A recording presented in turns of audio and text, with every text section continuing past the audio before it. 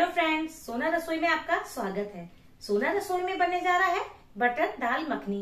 ये दाल आपको बहुत पसंद आएगी। वीडियो को आप लास्ट तक देखिएगा। लाइक शेयर सब्सक्राइब ज़रूर करिएगा। चलिए, बनाना शुरू करते हैं अपनी दाल मखनी। दाल मखनी बनाने के लिए हमें चाहिए एक कटोरी काली खड़ी उड़द की दाल वन फोर्थ कटोरी राजमा, जिसको मैंने ओवरनाइट सोक कर लिया है। और मैंने इसे इस कटोरी से नापा है? ये पाँच टमाटर है जिसकी मैंने प्यूरी तैयार कर ली है। पचास ग्राम बटर, दो बड़े चम्मच घी, अदरक लहसुन का पेस्ट, एक चम्मच कस्तूरी मेथी, दो चम्मच काश्मीरी मिर्च, वन फोर टी स्पून हींग है, आधा चम्मच जीरा, एक चम्मच गरम मसाला, दो चम्मच धनिया है। तीन सौ एम दूध लिया है। सबसे पहले हम दाल उबालेंगे। दाल में पानी हम उतना डालेंगे जिससे हमारा दाल से थोड़ा ऊपर ही रहे।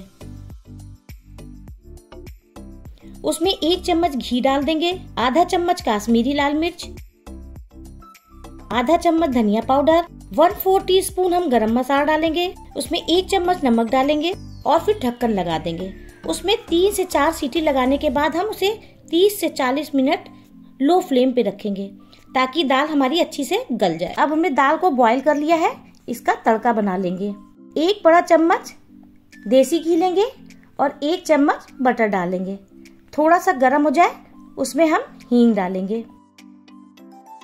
अदरक लहसुन का पेस्ट डाल देंगे।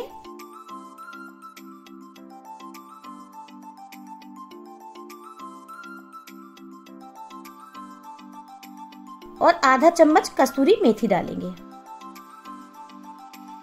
एक चम्मच काश्मीरी लाल मिर्च और फिर टमाटर की प्यूरी डालेंगे।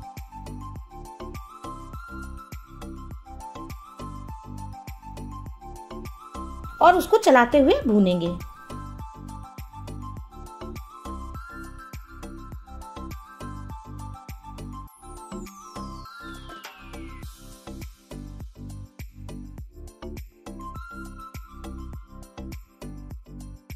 टमाटर ऑलमोस्ट भुन चुके हैं। अब दाल डालेंगे।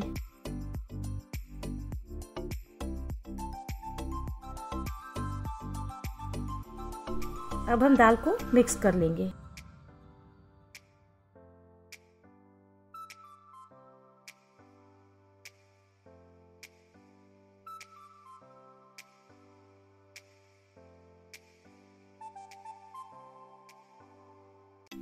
इसमें 300 सौ दूध डाल देंगे और लो फ्लेम पे 10 से 15 मिनट तक पकाएँगे।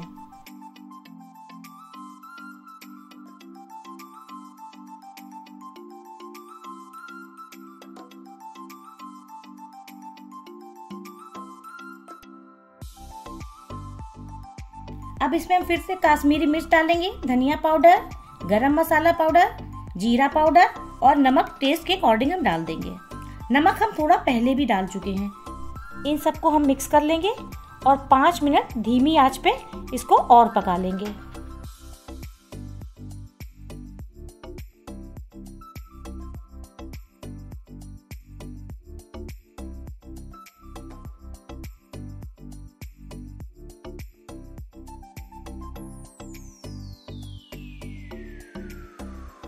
लास्ट में एक चम्मच बटर आधा चम्मच गरम मसाला और इसमें बचे हुई कस्तूरी मेथी डाल देंगे। इससे दाल का टेस्ट बहुत ही अच्छा आता है। इस तरह से आप दाल बनाएँगे तो आपको बहुत पसंद आएगी। इसमें आप थोड़ी सी क्रीम डाल दीजिए। ये ऑप्शनल है। अगर आपके पास क्रीम हो तो डालिए, वरना आपके पास अगर ताजी मलाई हो तो उसको भी फेंक के डाल सकते हैं।